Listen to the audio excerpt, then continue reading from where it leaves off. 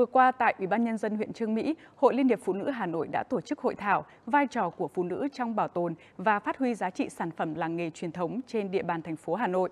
Tại hội thảo, 10 ý kiến đại diện cho các đơn vị như Liên minh Hợp tác xã Việt Nam, Bộ Nông nghiệp và Phát triển Nông thôn, Sở Nông nghiệp và Phát triển Nông thôn Hà Nội, Hiệp hội Thủ công Mỹ nghệ và Làng nghề Hà Nội cùng các cơ sở hội đã nêu bật vai trò của hội viên phụ nữ trong phát triển làng nghề, các giải pháp hỗ trợ nữ nghệ nhân phát triển mô hình kinh tế tập thể, xây dựng thương hiệu làng nghề. Hiện Hà Nội có khoảng 1.350 làng nghề và làng nghề có, trong đó có 327 làng nghề truyền thống. Mỗi làng nghề, phố nghề Hà Nội đều mang một bản sắc riêng, tạo ra những sản phẩm độc đáo, tinh xảo, mang đậm bản sắc văn hóa dân tộc, bảo tồn được các giá trị văn hóa nghề, làng nghề truyền thống, ngày càng nâng cao năng lực cạnh tranh, giá trị gia tăng của các sản phẩm, tạo việc làm tăng thu nhập cho người dân.